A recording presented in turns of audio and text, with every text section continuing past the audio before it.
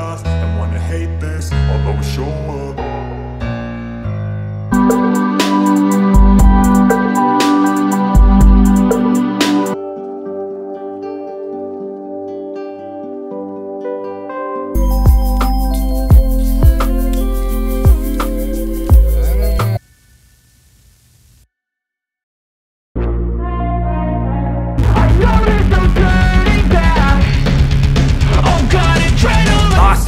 after it Investing in my own stock Cause it's faster than any crypto